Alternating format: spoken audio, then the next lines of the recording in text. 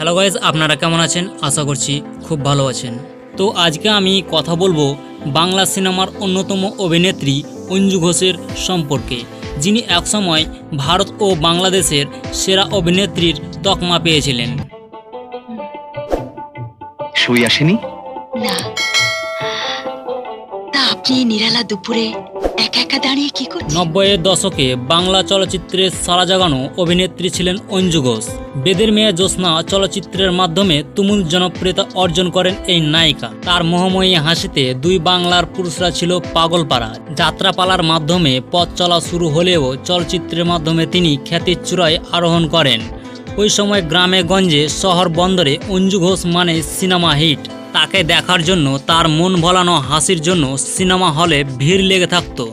অঞ্জু ঘোষের প্রকৃত নাম অঞ্জলি ঘোষ। উনিশশো সালে ফরিদপুরের ভাঙ্গায় তার জন্ম হয়। যদিও তার নাগরিকত্ব নিয়ে অনেক বিতর্ক রয়েছে। দু হাজার উনিশ সালের পাঁচই জুন তিনি ভারতের রাজনৈতিক দল বিজেপিতে যোগ দেন। তারপরে তার নাগরিকত্ব নিয়ে প্রশ্ন ওঠে। পরে বিজেপি দলের তরফ থেকে দাবি করা হয় যে তিনি ভারতের নাগরিক।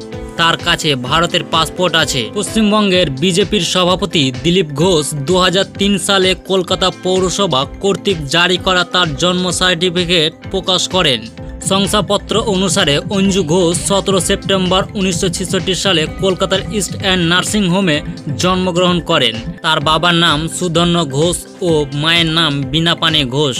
অন্যদিকে দু হাজার আঠারো সালে একুশে টেলিভিশনকে দেওয়া এক সাক্ষাৎকারে তিনি জানান যে সতেরো সেপ্টেম্বর উনিশশো সালে ফরিদপুরের ভাঙ্গায় জন্মগ্রহণ করেন এবং মুক্তিযুদ্ধ শুরু হওয়ার আগে তিনি এবং তার পরিবার চট্টগ্রামে চলে আসেন। সেখানকার কৃষ্ণকুমারী বালিকা উচ্চ বিদ্যালয়ে পড়াশোনা করেন। আর তখন থেকে শুরু হয় তার নাচ শেখা।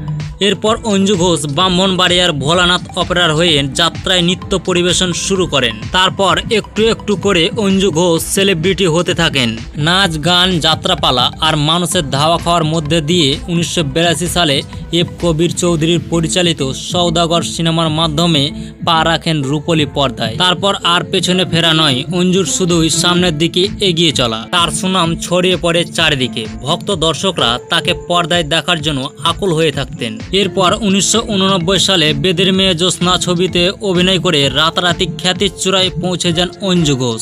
এই সিনেমাটি রেকর্ড পরিমাণ ব্যবসা করেছিল।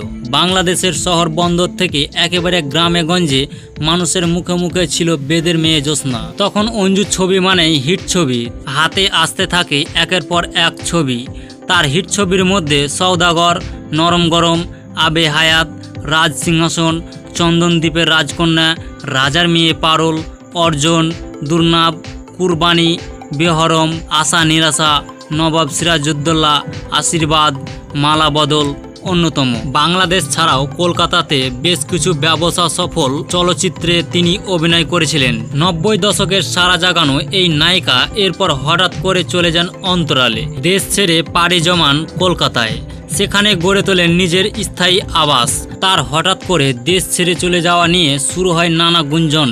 অনেকে মনে করেন ভুল বুঝে চলে গেছেন। কিন্তু অঞ্জু ঘোষ বলেন ভিন্ন কথা। তিনি বলেন, ওই সময় যে ধরনের অভিনয়ের জন্য প্রস্তাব আসছিল, সেটা আমার কাছে ভালো লাগেনি। সাজ পোশাক সব কিছুতে একটা পরিবর্তন লক্ষ্য করেছি, তাই সিনেমা করা ছেড়ে দিলাম। তিনি বলেন, আমার খুব কষ্ট হয় যখন দেখি আমাকে নিয়ে বিভিন্ন পত্র পত্রিকায় ভুল খবর বের হয়। আমি নাকি খেতে পাই না। কাজ না করেই আমি বাংলাদেশ ছেড়ে চলে এসেছি। এইসব নোংরা কথায় আমার খুব রাগ হয়। দীর্ঘ বাইশ বছর পর অঞ্জু ঘোষের সেই রাগ ভেঙেছে। অঞ্জু ঘোষ বলেন, আমি যখন চলচ্চিত্রে আসি, তখন ক্লাস নাইনে পড়তাম। সেই থেকেই অনেক বছর এখানে কাজ করেছি। এ দেশের প্রতি আমার কোনো রাগ নেই, কোনো ক্ষোভ নেই।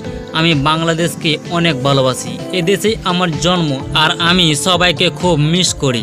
অঞ্জু ঘোষ তার কেরিয়ারে প্রায় পঞ্চাশটির মতো সিনেমায় অভিনয় করেছিলেন। বাংলাদেশের নায়ক রাজ রাজ্জাক জাফর ইকবাল, ওয়াসিম ইলিয়াস কাঞ্চন থেকে শুরু করে ওপার বাংলার রঞ্জিত মল্লিক, চিরঞ্জিত প্রসেনজিৎ সহ অনেকের সঙ্গে তিনি স্ক্রিন শেয়ার করেছেন। বর্তমানে অঞ্জু ঘোষের সময় কাটে ধর্মচর্চা আর সংগীত চর্চা করে।